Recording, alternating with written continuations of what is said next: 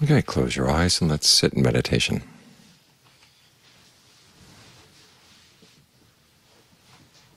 Watch your breath coming in, watch your breath going out. Try to stay concentrated on the breath.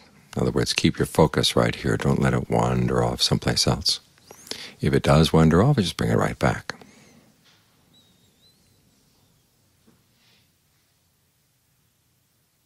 If it wanders off again, bring it back again. Try to breathe comfortably so it's pleasant to stay with the breath. Feel like you can be at home right here.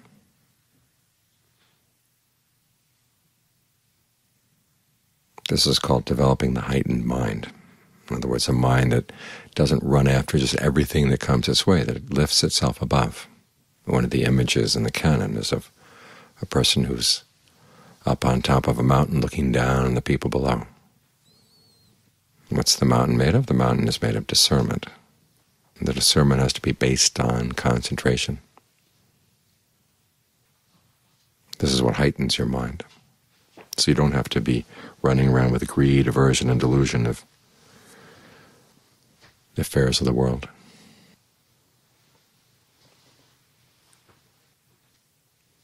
Today is Puja. Magha is the name of this month in Pali.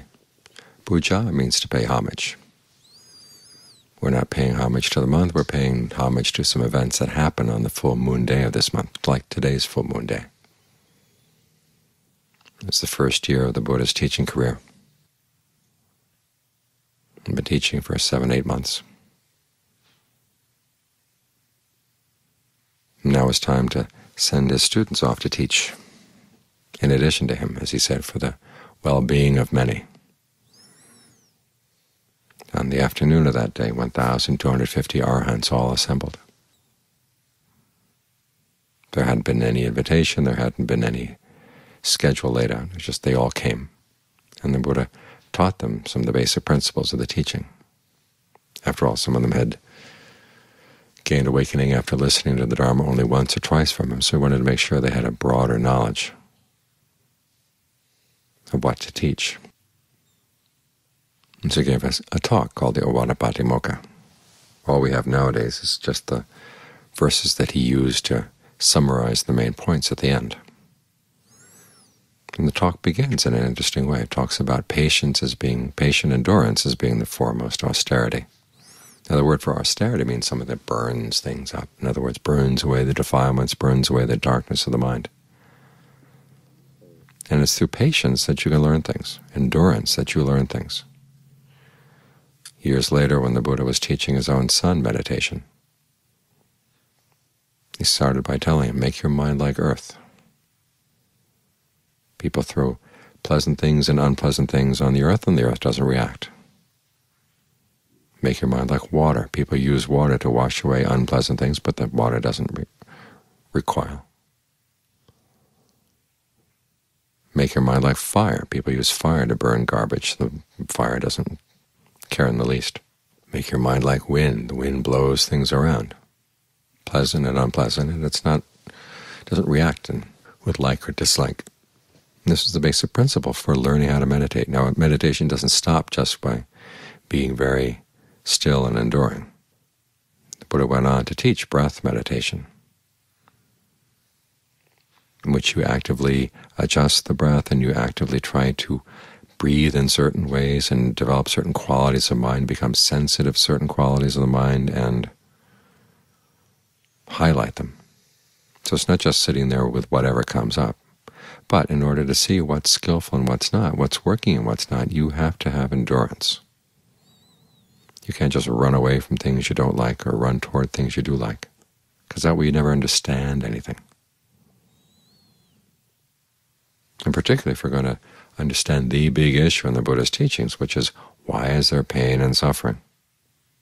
You can't just run away from the pain because you can't say you can't stand it. If you want to understand it, you have to sit with it. Now the clue to how to develop the endurance that allows you to sit with this comes in the last phrase of the Buddha's concluding verses, and that is developing the heightened mind, like we're trying to do right now. Because the best way to endure pain is to find there must be some pleasure in here someplace. Use that as your focus. Use that as your foundation. And from that foundation of well-being, then you can look at the pain and really understand it. And it's only when you understand it that you can see what's causing it. And it's only when you see what's causing it, you can let go of the cause. And that's what puts an end to the pain. So we develop endurance not by just sitting here gritting our teeth, but by raising the level of the mind, raising the level of our concentration, raising the level of our discernment.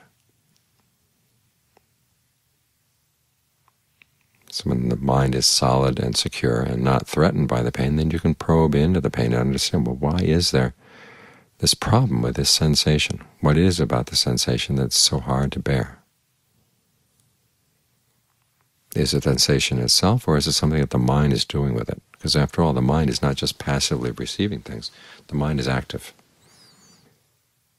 It goes out looking for things. And once it finds something, it'll label it and decide whether it's something it wants or something it doesn't want. So is there something wrong with the labels? Is there something wrong with the stories and the plans the mind makes? This is what you want to look into. into. Because if the problem were not with the mind, then you just simply have to suffer, and that would be it. But it's the problem is with the mind, the activities of the mind. We're not just passively receiving things, we're reflecting on them, we're making stories, we're trying to feed on things. And it's because of that that we swallow a lot of unpleasant things and create a lot of suffering for ourselves. It's because the mind is the problem. The problem can be solved. So we work on training the mind, raising the level of the mind.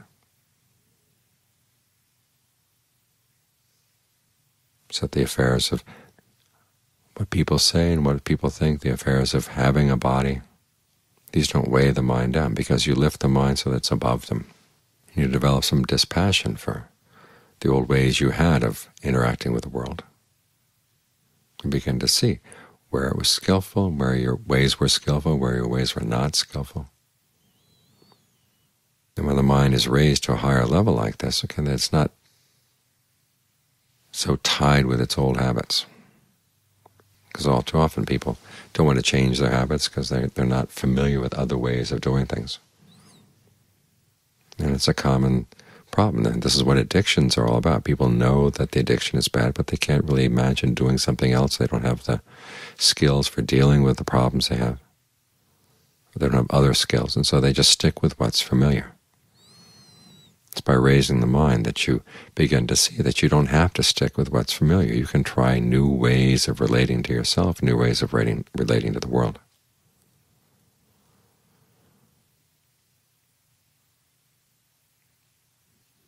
In doing this, you're taking advantage of that talk that the Buddha gave 2,600 years ago. It's good to remember that. As you're sitting here meditating, it's not just you. You're part of a long tradition. You're benefiting from many, many people, starting with the Buddha, generation after generation leading up to today. And you want to show your gratitude, you want to show respect for that tradition. That's why we have days like this. As the Buddha said on the night of his total nibbana, there are two ways of showing respect to him. One is with flowers, candles, and incense, which is what we did just now. And the other is practicing the Dharma in line with the Dharma.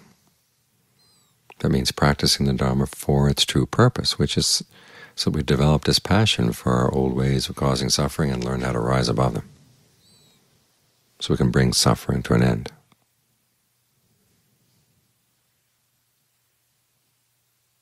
So when we make the mind still like this, it's not just to rest or for a little bit of respite. It's to give our minds a position, put our minds in a position where it can look at their old habits and develop some dispassion for anything they realize. Anything the mind realizes has been unskillful. That's what it means to practice the Dharma in line with the Dharma. It's for the sake of disenchantment, for the sake of dispassion. that leads to release. So it starts with simple qualities of mind like patience and endurance. And it's augmented by the skills we develop as we try to bring the mind to concentration. All of which so we can see things, so we can bring the mind up to that high mountain, where it can look down on the world, look down in its old ways, and see, oh, that's where I made my mistake, or this is where I've been unskillful. And all those mistakes and all that unskillful behavior is totally unnecessary.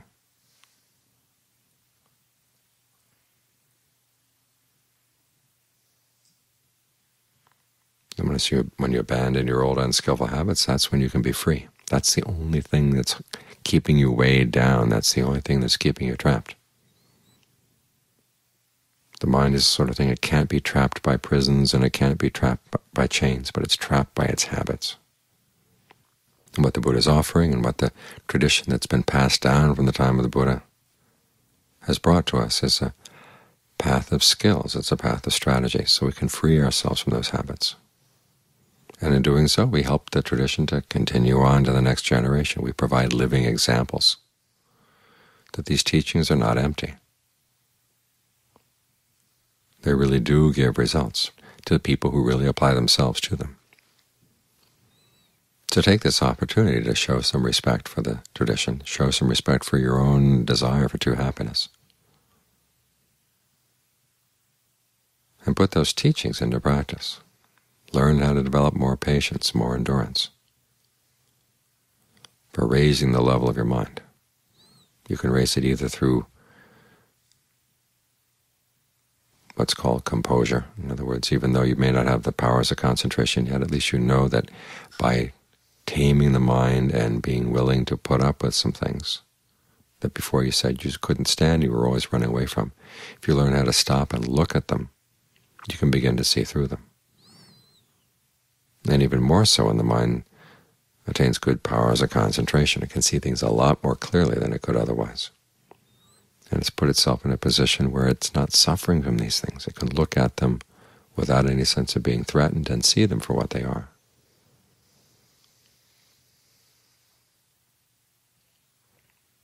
So these teachings that we remember, they're not just relics from the past or historical curiosities. They're advice from people who found that these things really work. And it's important enough to pass it along. Important enough to have the Buddha, the Dhamma, and the Sangha. And all the efforts of all the generations that have brought these teachings to us.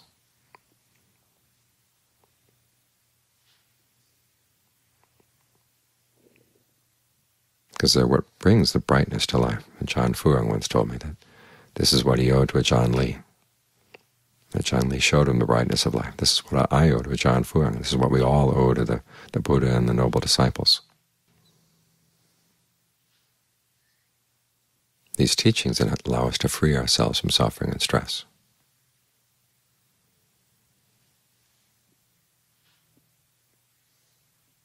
And to touch that dimension,